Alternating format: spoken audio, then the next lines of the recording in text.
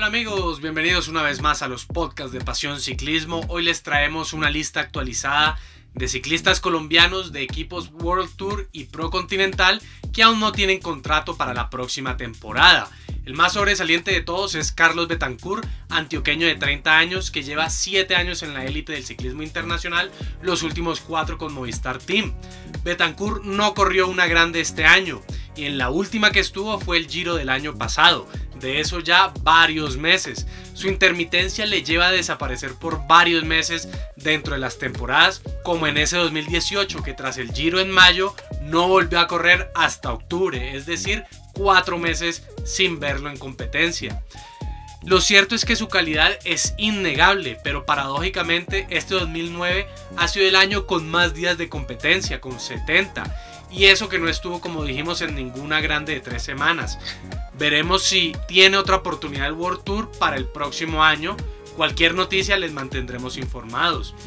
El otro colombiano del World Tour sin contrato es Hernando Borges de Astana Team.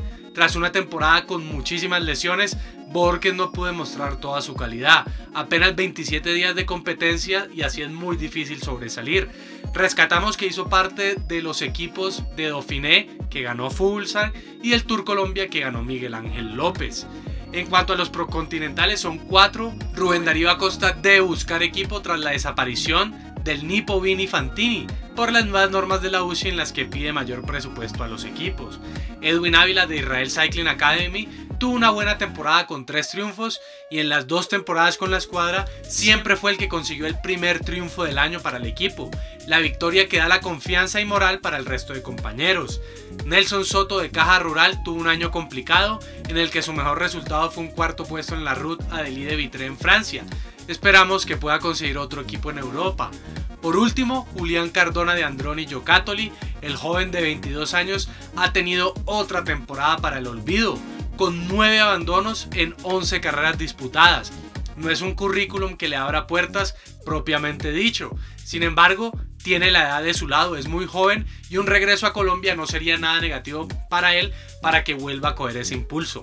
Amigos, ¿cuál de todos los anunciados les sorprende más?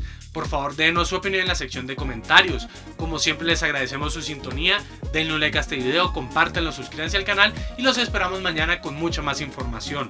Muchas gracias.